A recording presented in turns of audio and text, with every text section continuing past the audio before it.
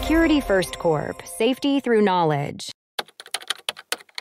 How long do home security cameras keep footage?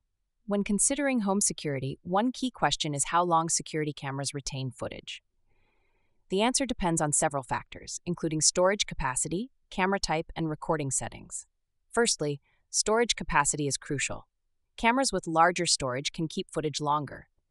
This storage can be internal, like an SD card, or external, such as a network video recorder, NVR, or cloud service.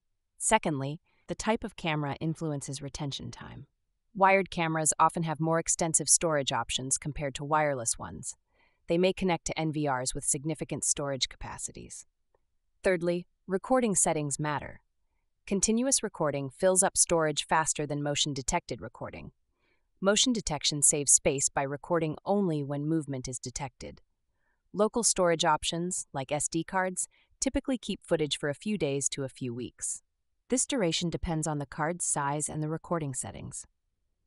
Once full, the oldest footage is overwritten. NVR systems generally offer longer retention ranging from weeks to months. These systems often allow for storage expansion by adding more hard drives. Cloud storage provides another option. It usually offers various plans, with retention times from a few days to several months. Cloud storage often includes features like remote access and automatic backups. In conclusion, the retention time for home security camera footage varies widely.